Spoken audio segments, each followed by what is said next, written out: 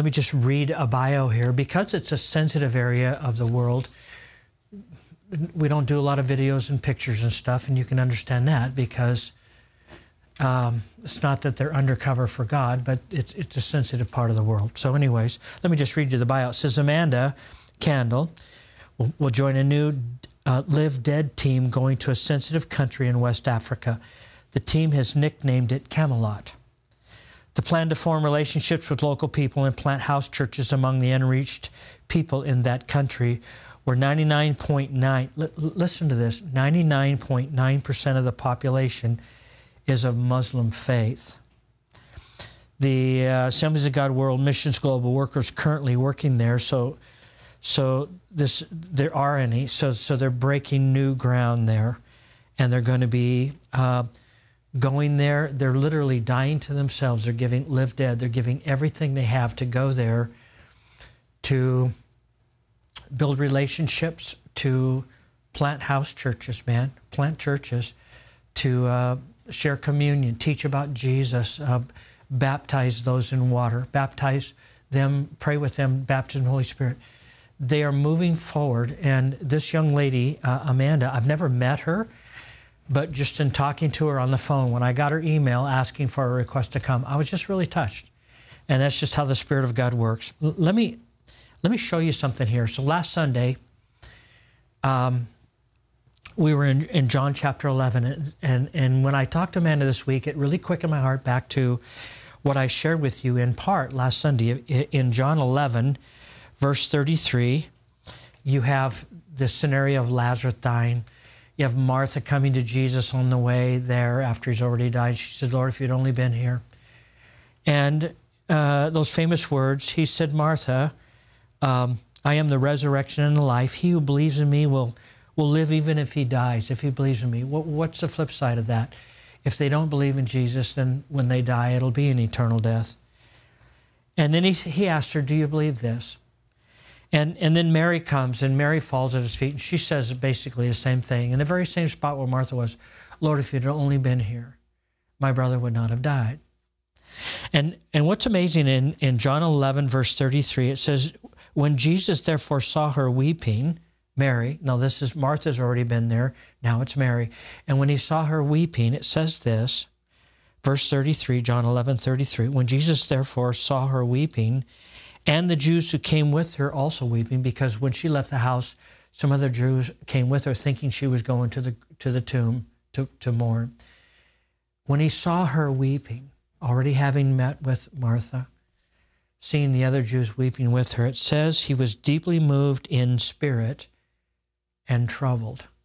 In spirit and troubled. He also then, he said, Where have you laid him? in verse 34. And they said, Lord, come and see. And in verse 35, shortest scripture in, in the Bible, it says this Jesus wept. Now, Jesus wept because he was moved in his spirit. Look at verse 38. Jesus, again, being deeply moved from within. So you have two things going on here. You have Jesus being moved in his spirit, which means he was troubled.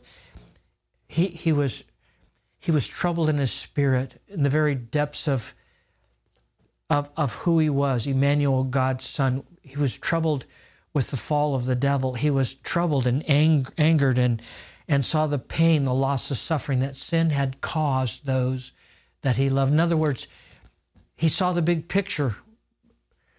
People with no hope, their brother has died. Prayer was deferred, it wasn't answered. He knew he was going to raise Lazarus from the dead and that his life would bring a greater glory to the kingdom by allowing him to die and then raise him from the dead.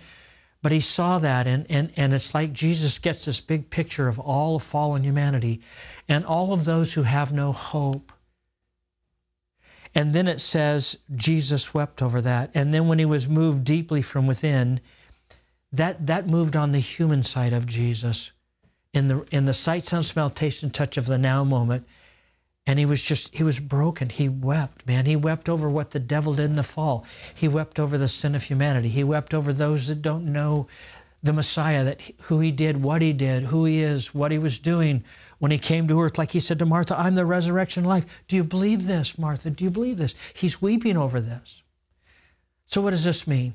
When Jesus wept, he was weeping as God's Son and he was weeping as Jesus, the God man. In other words, what this is showing us is that Jesus wept, yes, in context for Lazarus, but in general, he weeps for all of humanity who does, all of humanity who doesn't know him. Let me tell you something.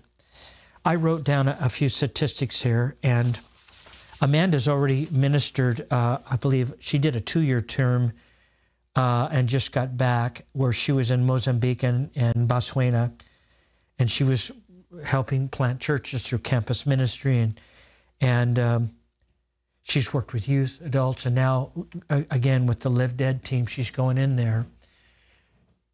She's going to try to do something about this people group that is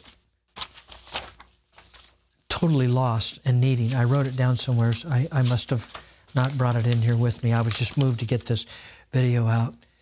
You have, I think, three three billion people and and and seven seven million different people groups that less than two percent saved.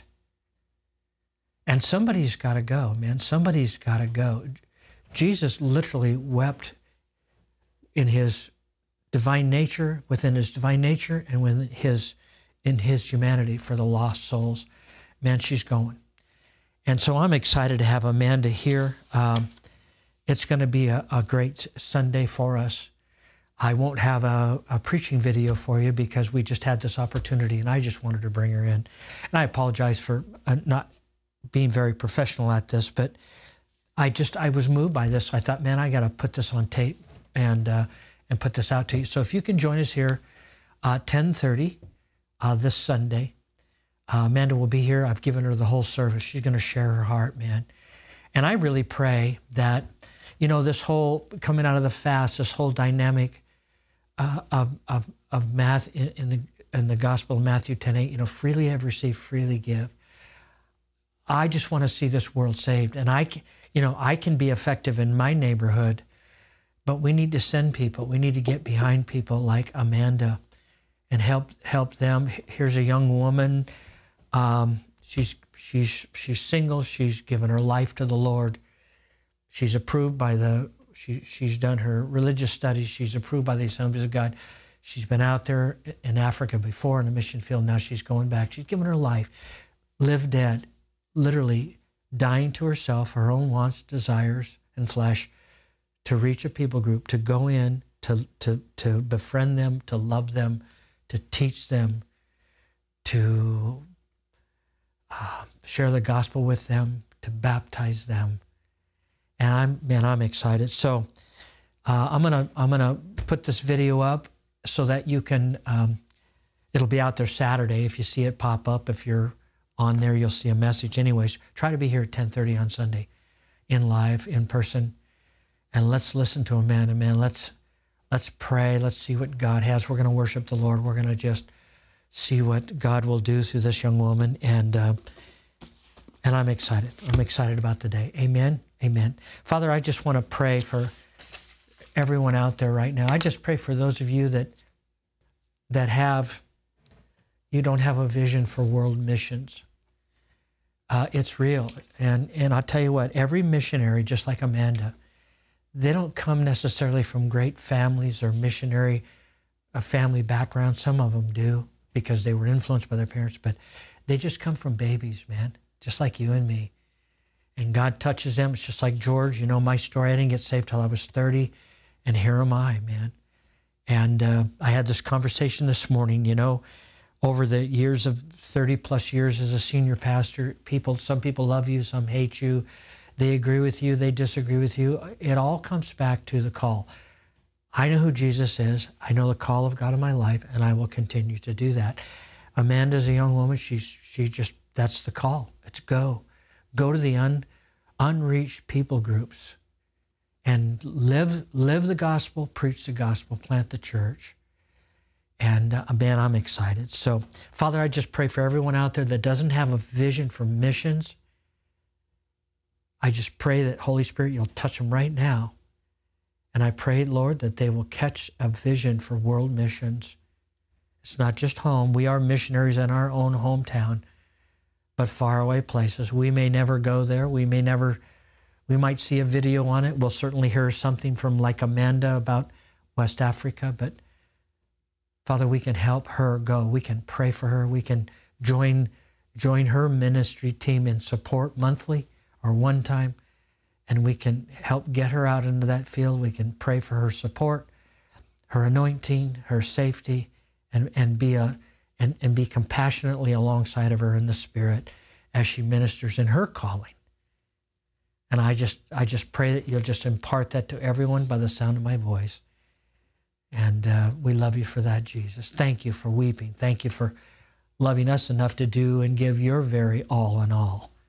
And I pray that we on earth, as we come around you and the Spirit of God moves us in our giftings, that we'll do the same. We'll give our all for the gospel in Jesus Christ. In your holy name.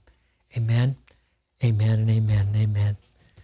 Good deal. All right. Well, again, if you want to give to Amanda Kandle, that's Amanda Kandle with a K, K A N D L E, uh, you can certainly do that. Uh, MaytownAG.com is our webpage. Go to our webpage, MaytownAG.com and you can go to the donation. You can write in Amanda Kandle, A M A N D A Kandle, K A N D L E, and uh, you can just give a one-time gift or pray about supporting her, and, uh, and let's watch God do something supernatural. Amen. Amen. God bless you. Thank you. We'll see you next Sunday.